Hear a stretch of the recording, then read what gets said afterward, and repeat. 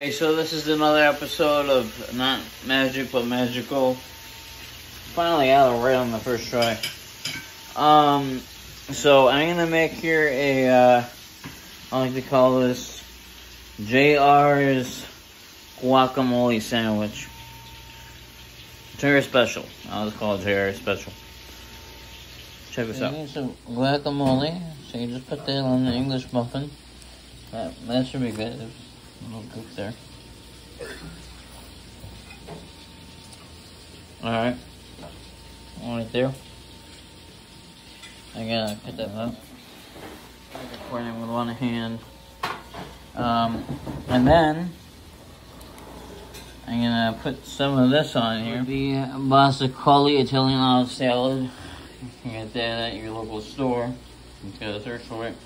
I don't know if I can find it just about anywhere, but olive salad, Italian olive salad.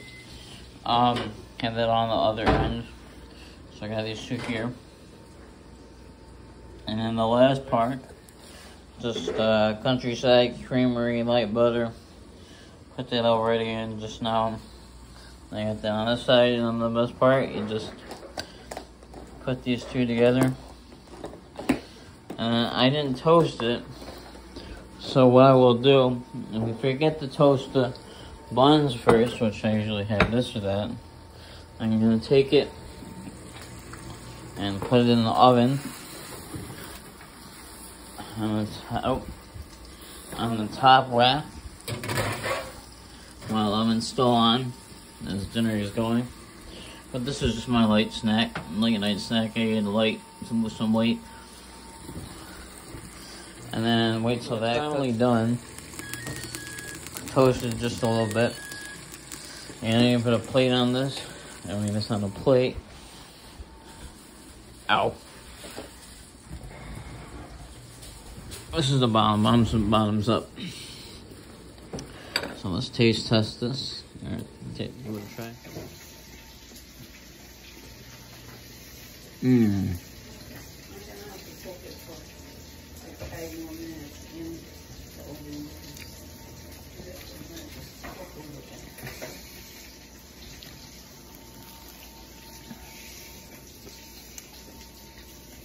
Mmm.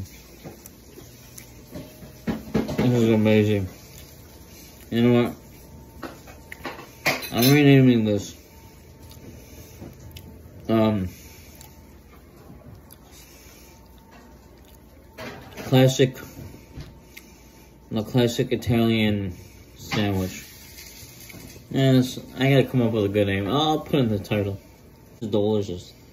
I'll rate it. Mmm. A 10 plus.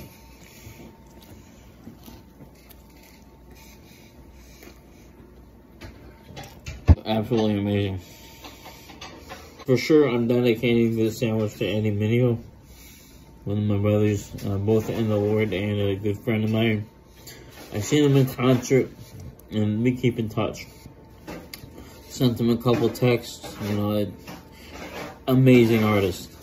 And last piece.